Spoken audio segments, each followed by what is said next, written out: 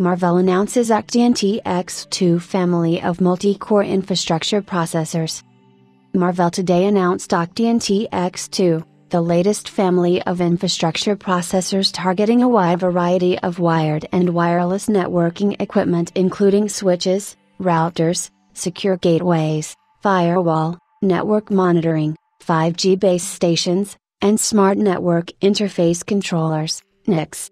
Massive increases in data traffic coupled with escalating requirements for end to end security are intensifying the need for highly scalable compute platforms with integrated workload optimized hardware accelerators to meet performance, power, and total cost of ownership requirements.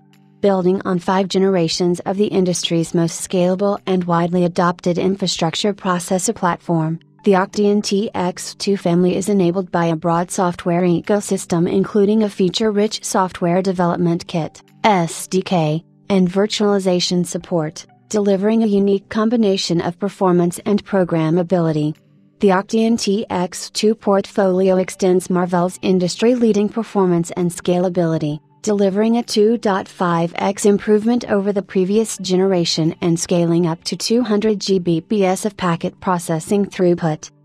Marvell's Octeon TX2 infrastructure processor family combines up to 36 cores, based on the ARM v8a architecture with configurable and programmable hardware accelerator blocks, connected by Marvell's field proven and highly scalable coherent interconnect. Compared to architectures that process data solely on CPU cores, these accelerator blocks, which include security, packet processing, and traffic management functions, are able to meet the most demanding performance and power requirements. The integrated hardware accelerators offer 2.5x improvement over Marvell's previous generation of Octeon processors with scalable throughput ranging from 10 Gbps to over 200 Gbps making them ideal for 5G base station and transport network infrastructure, security, cloud and data center, enterprise networking, and intelligent offload applications.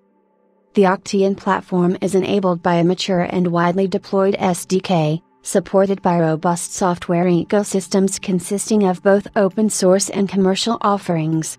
The platform includes firmware, Linux OS and multiple distributions, virtualization, containers, data plane development kit, DPDK, protocol stacks, infrastructure management and orchestration like OpenStack and Kubernetes, and virtual network functions, VNFs.